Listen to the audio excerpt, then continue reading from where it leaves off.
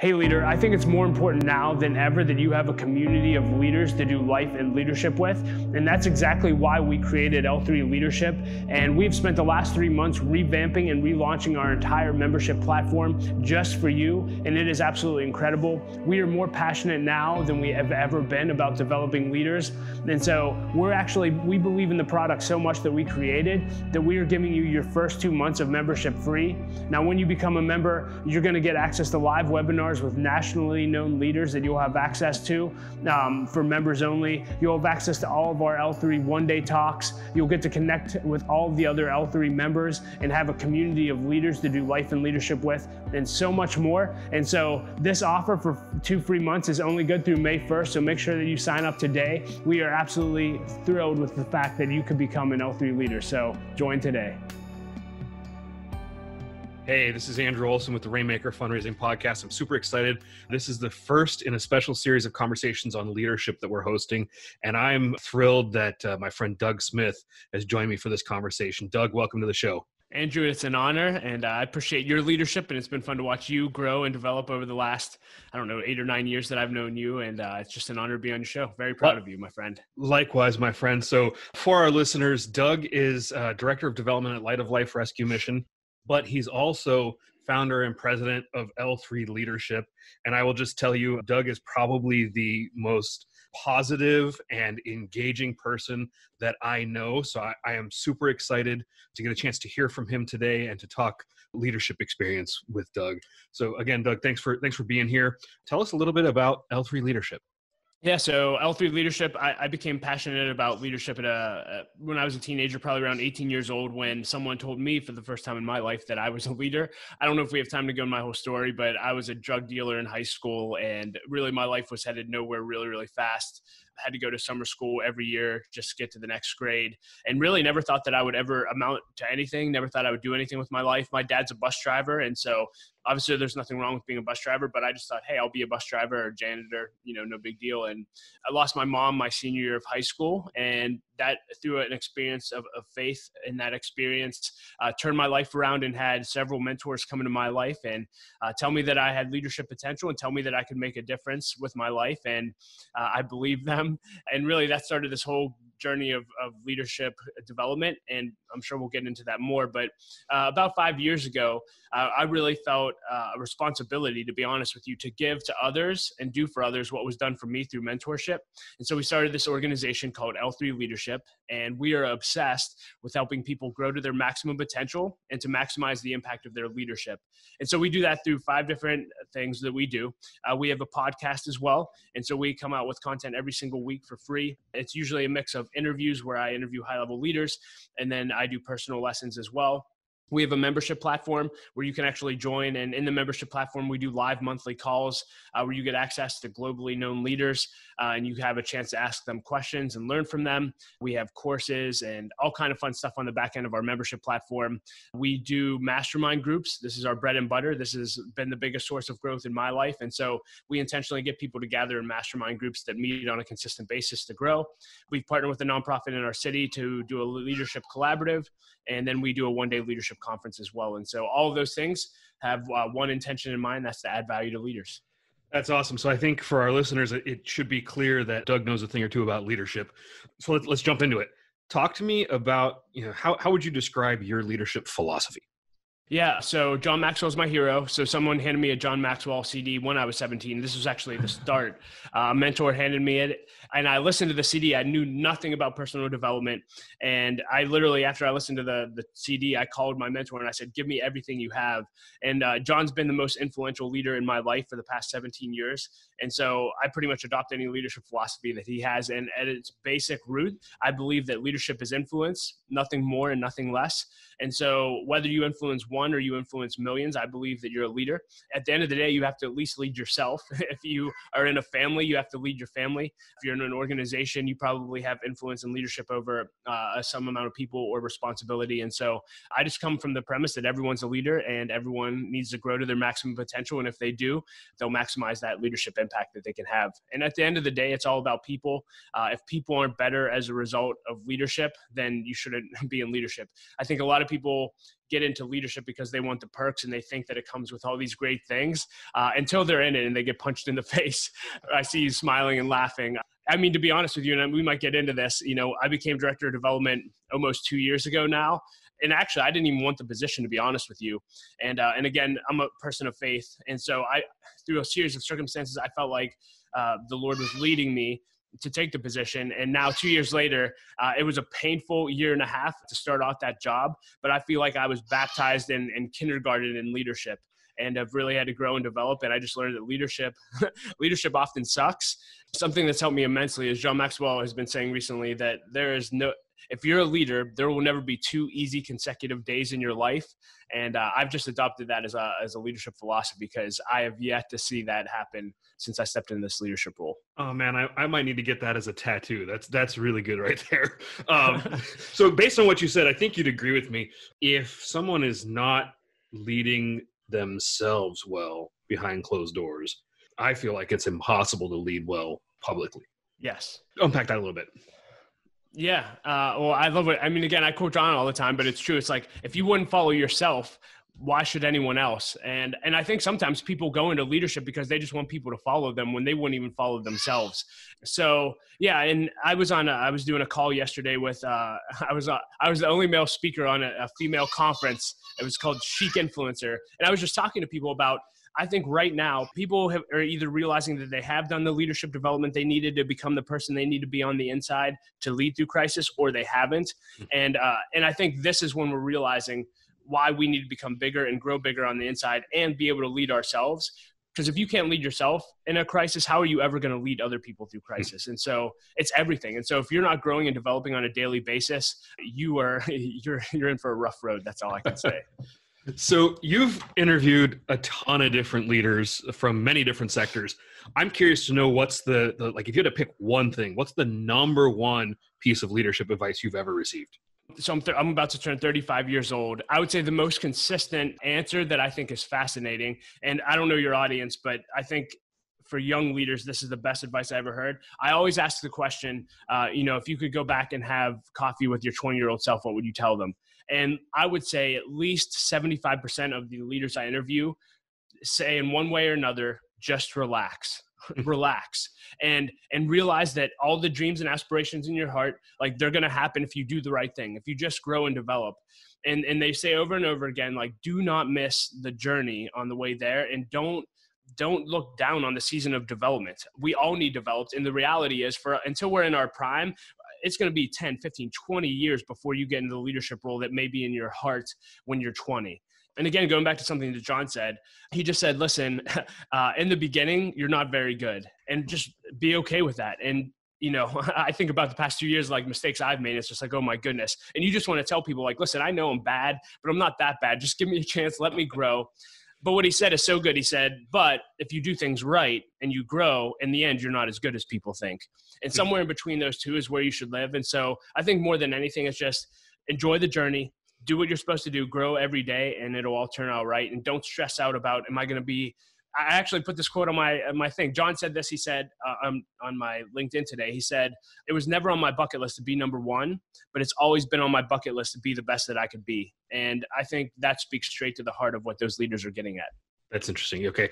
So next question. I'm I'm curious about you already talked a little bit about this in, in your intro, but what do you think the most important values are that a leader can demonstrate to those in her or his care?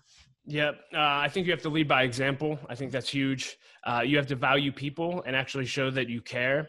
But I'm, I'm also learning. So my, my nature is to naturally care for people. I value people. I'm very relational, but I've also had to learn, and I'm still learning to be honest with you. Uh, people also value candor. Mm-hmm. And you can be a people pleaser all day and encourage people all day, but if you're not going to to have the strength to tell people the truth and tell them what they need to hear to grow, uh, eventually you'll lose their respect and you'll you'll stop leading. And so that's been a, a, hard thing. But I think you have to value people, but also value candor and actually helping people versus just making them happy. I think that's huge. For me, one of our values at, at L3 Leadership is character. And I, we believe the character development is the most important development. I was on a call the other day. I was interviewing someone, and we were just talking about someone that we look up to that's in their 70s. And I think in our generation, it's so easy to look up to someone that's in their 30s and, and 40s and, and say, wow, I just want to follow everything they say and everything they say is brilliant. But to be honest with you, and this is including me, like our leadership hasn't stood the test of time. You know, it's great that I'm leading well at 35, but I really admire and look up to and want to learn from those leaders that are 70, 75, 85 and still have their their marriage intact, still have their family intact, have have done great things, but their life is more complete and they had the character to get them through. And so we always just tell people focus more on your character development than anything else because if you don't, you'll never make it to your leadership finish line. Um, my pastor always tells me, he said, I think about 2% of, of leaders make it to their finish line, uh, and it's primarily always character issues. And so more than anything, grow your character. And I think when you do that, you do lead example for your team and, and raise the bar for their character as well. And I think that's huge. That's good stuff. Character and candor. I love that. Let's talk about this. How, how do you approach this and what have you seen work best? You know, obviously in leadership, you can't force people to do things they don't want to do, right? So no matter how hard we try, and, you know, I'll tell you, early in my career, I thought force was the way to do it, and I've learned painfully that it's not. But so, so what have you learned about how a great leader brings people along with them on the journey to to get from point A to the leader's desired point B, but in a way that doesn't damage relationships? Yep. So so back to the candor. This is something I'm not naturally strong in, and this was actually one of my pain points of 2019 and and, and leadership growth. To be honest with you, so I can just tell you what I'm learning. I can't speak from like, hey, I'm so good at this. But what I am learning is uh, on the candor end, something that really set me free. I, I actually had the opportunity to have lunch with John Maxwell uh, in January. And I sat down and I said, listen, I have this huge lid in my life and my leadership that I'm so relational and I care so much about what other people think that I'm unable to, to lead them the way I want to.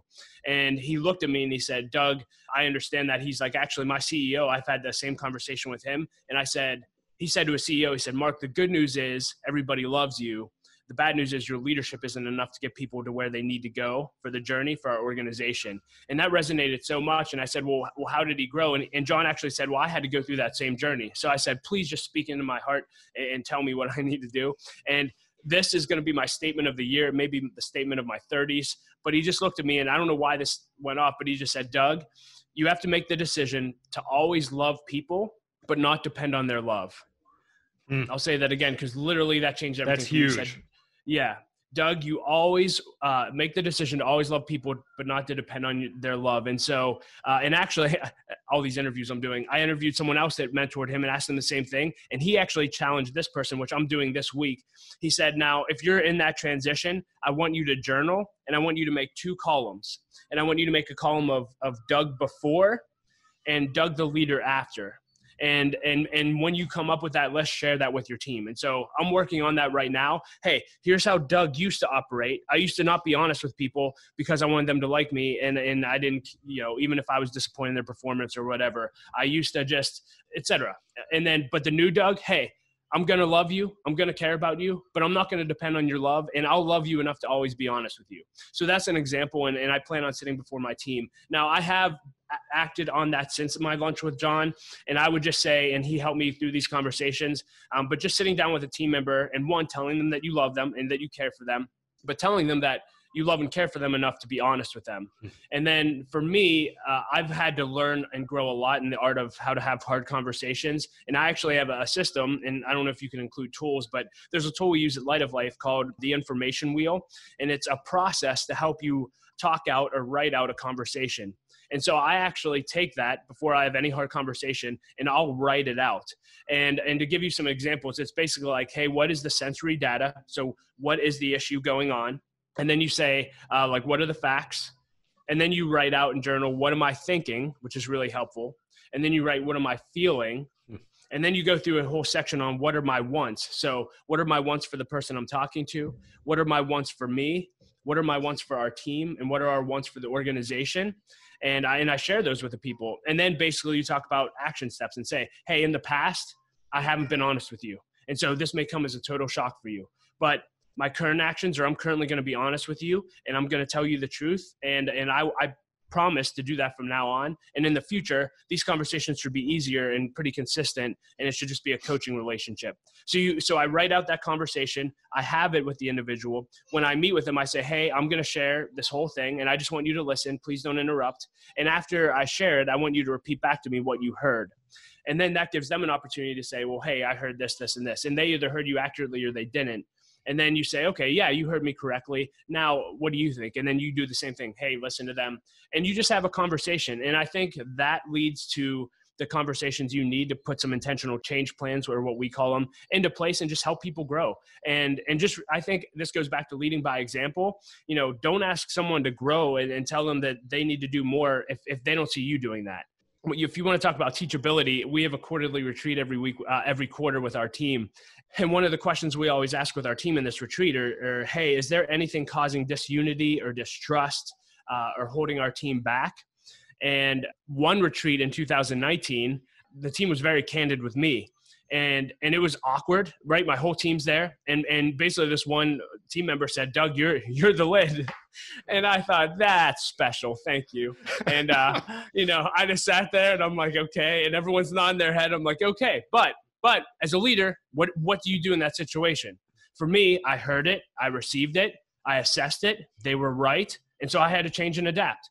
And i changed and adapt and i grew. And i'm not perfect but it made me more self-aware it made the team realize that I'm willing to, I'm not only going to ask them to change, but they can ask me to change because we all need to grow better together. And so I hope that helps. But th- that would be my process and, and what I would tell you for, for coaching people and getting them to move in the direction you want them to. Yeah, I think that's really insightful. And it's, I mean, it's really interesting to me that your team was able to give that feedback because one of the things I hear all the time from leaders is I can't get candid feedback from my team right and a lot of that's about the culture that we establish and how we you know create that conversation about feedback. So you know it sounds like you you've for, for all the challenges that you've had there, there's a really intentional way that you've developed that conversation internally so that people feel comfortable and safe to give that feedback right yeah, and, and I'll just say that. Uh, so we do that in our quarterly retreats, and that's not an open invitation for me. It's it's really on our team, and we certainly wrestle through other issues. But in my one-on-ones with everyone that that reports to me, I'm always asking. You know, I, leaders say that all the time, but two questions for the leaders that say they don't get feedback. One is, do you ask for it?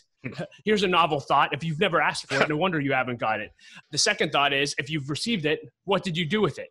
did you get defensive and shut the person down and say you're an idiot? If you did, you're going to be surrounded with people who will never give you feedback and never say anything to you because they're intimidated by you. You have to model teachability. Hmm. and if you're not teachability, that's your lid as a leader, and that will hold you back for the rest of your life until you learn to be teachable. And last thing on teachability, I've I've actually been credited for being too teachable. Where, but again, this goes back to the sensitivity of being a people pleaser. Like I'll hear one person say, "You got to do this." I'm like, "Okay," and okay. And before, I would say in my growth journey that I would I would adapt to feedback just to make people happy versus adapting because I wanted to get hmm. better. And so I've had to learn to actually say, okay, am I just, is this something I actually need to grow in? Or is this something I'm just doing to please this person? And, and that's been a world of difference in, in growing. Awesome. So I want to ask, and I get your your candid take on this. What's the biggest risk you've ever taken as a leader, and what did you learn from that? Oh, geez. uh, well, risk management. Risk management has never been a strong suit of mine. I'm growing in that area for I mean, for me, it's just it's, it's a risk starting L3 leadership and jumping out there. It was a risk taking the new role as director of development. I mean, I think throughout your leadership journey, you're always going to have to take risks. I would just always just say it's worth it. You know, when when people on their deathbed, they usually one of the major things they have regrets about is they didn't take any risks. Mm-hmm. And so, as a leader, and if you're going to grow, you're going to have to take risks and realize you're going to fail, and it's okay. It's how you uh, respond in failure, right?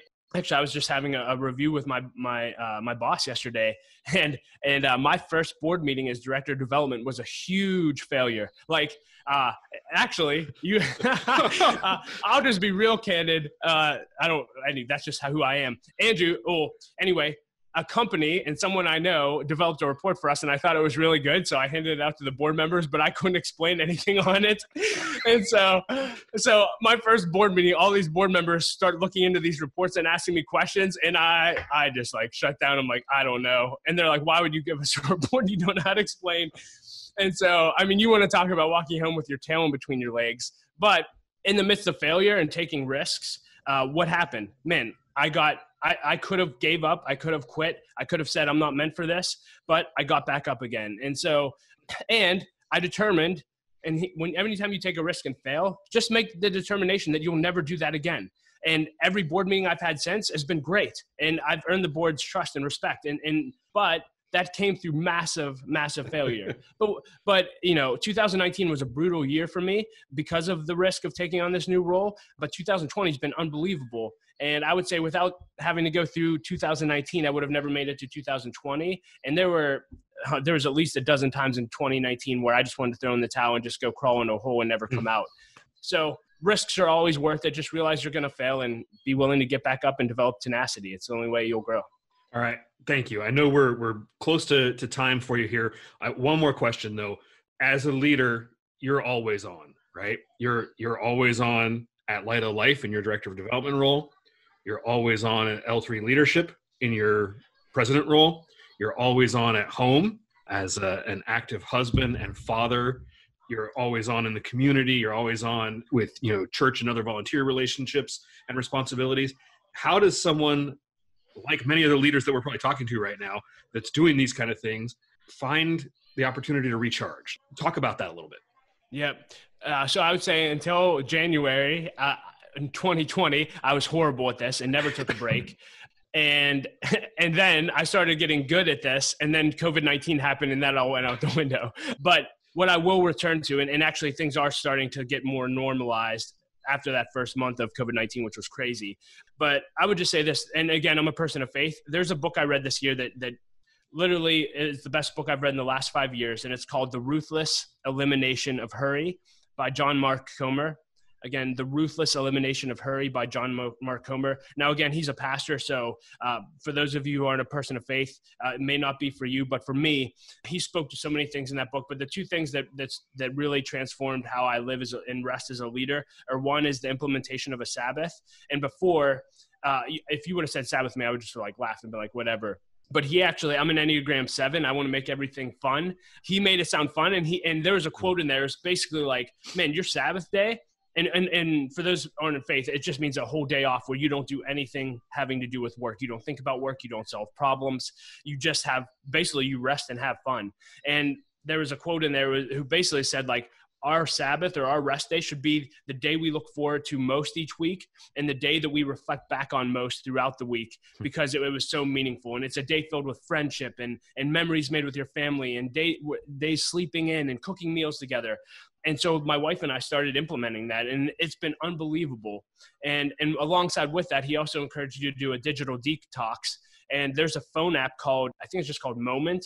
Uh, in the Moment app, and it's wonderful. And they have a boot camp to help you have a digital detox. It literally cut my phone time in half which was absolutely amazing. I had no idea how addicted to my phone I was.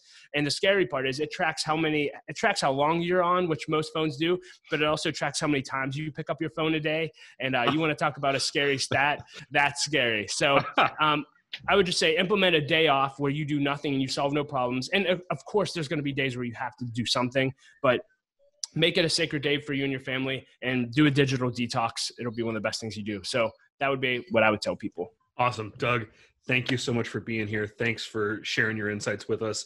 How can people get in touch with you if they want to learn more about L3 leadership, want to learn more about Light of Life, you in general?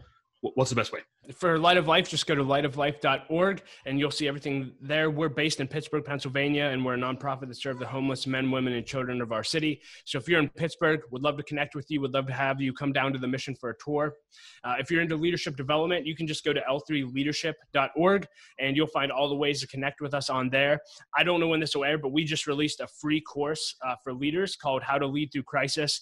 And this is something we're doing for our members on a consistent basis where we're going to be developing courses to help you grow and develop as a leader in addition to those live monthly webinars. Uh, but this one's available to, for free for the public. So if, if you think that would add value to you, uh, you can just hop on our website and, and get access to that. So Andrew, thank you for having me. Uh, I love everything you do. I learn from you literally every day, I feel like. And so, um, just thank you for being a leader, putting content out there. Everything you do matters, and uh, I'm just honored to call you a friend. Hey man, appreciate you. Same same here, and uh, I also learn from you every day. In fact, I was listening to one of your recent podcasts this morning before we jumped on this. So appreciate everything you're doing for the community, and uh, thanks for being here. Thanks, man.